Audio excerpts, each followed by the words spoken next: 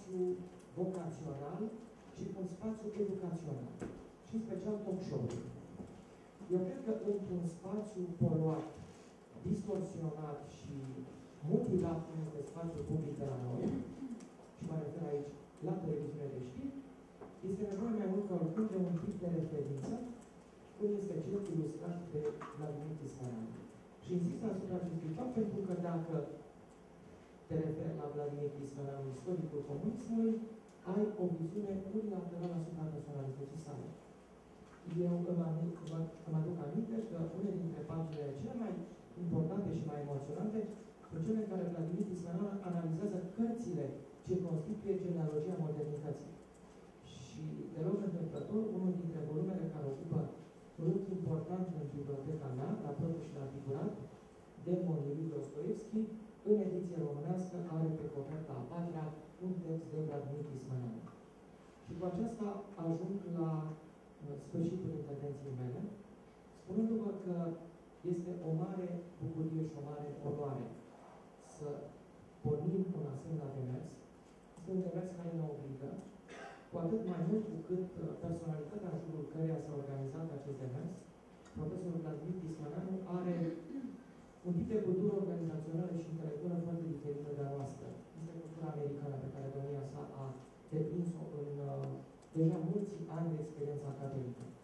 Ori această cultură se bazează în cele din urmă pe asumarea unor angajamente, nu se bazează pe represiune, se bazează pe atingerea unor rezultate.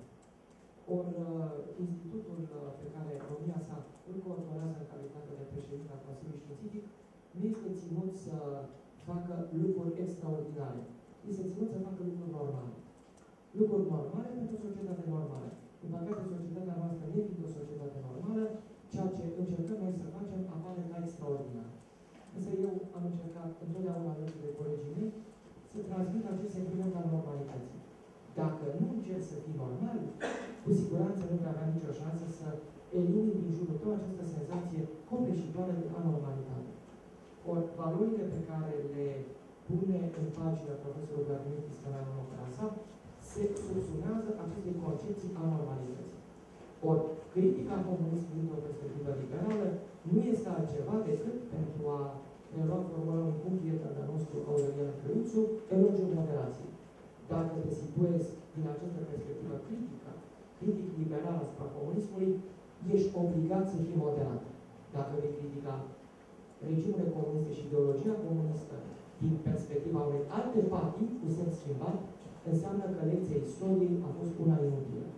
Ori eu cred că prin prezența sa în ultimele decenii, cele de după 1989, prin constanta sa capacitate de a fi pedagog fără să fie în niciun fel abraziv sau uh, ininteligibil, profesorul Disciplinarul a arătat că pot să lupți pentru normalitate cu arme foarte modeste. Armele domniei sale au fost întotdeauna mintea și mai nou computerul, pentru că despre stilou nu mai putem spune într-o epocă a internetului. Dar avem și stilou sau fix după necesități.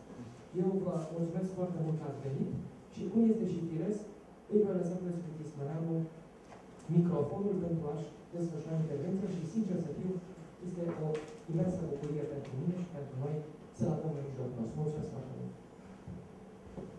Nu vreau să, nu vreau să pun problemele tehnice sub nicio formă și întreb dacă era numării e imperios necesar să stau jos sau pot să stau și în picioare.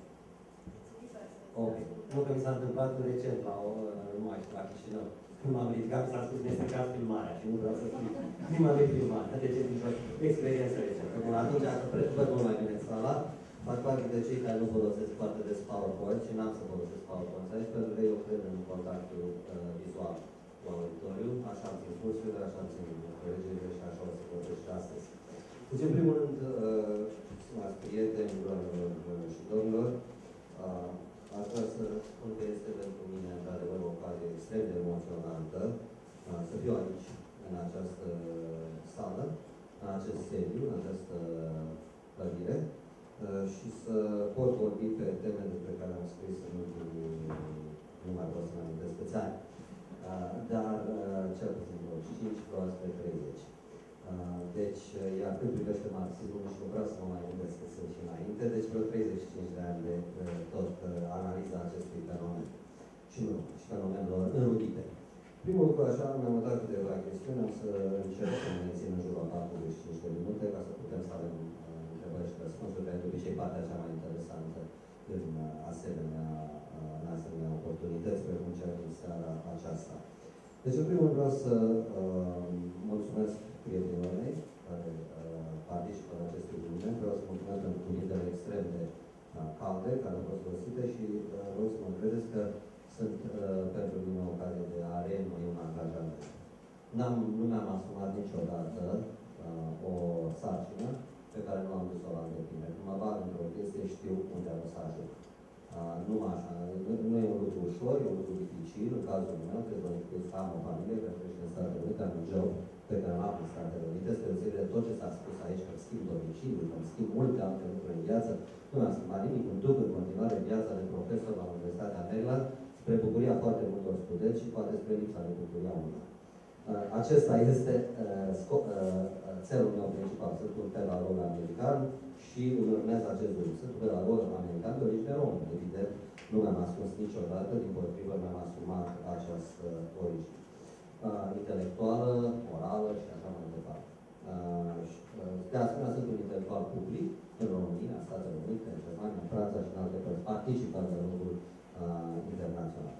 Vreau să, în primul rând, să numesc oamenii care au făcut treaba extraordinară în acest institut. Dar să încep nu cu uh, numele conducerii, ci cu uh, uh, cei care sunt, de fapt, motorul pentru acest institut să meargă mai departe și să meargă bine mai departe și ceea ce vedeți în momentul de față e o dovadă a faptului că institutul merge bine mai departe, indiferent de unele predicții pesimiste.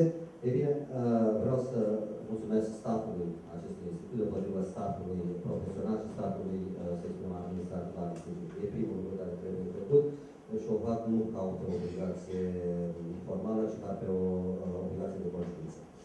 Apoi vreau să mulțumesc celor care au orientat planul științific al Institutului, au coordonat practic ceea ce s-a întâmplat în ultimele trei luni în acest institut. Unii sunt vechi mei colaboratori din cadrul Comisiei Prezidențiale, Stanumir, de pildă care a scris sub capitolul Constituției, din raportul despre Constituțiile României Socialiste, în cadrul raportului final al Comisiei Prezidențiale, apoi, evident, e care e directorul, președintele executiv, mai mult la, la titluri și funcții, președintele executiv al acestui institut,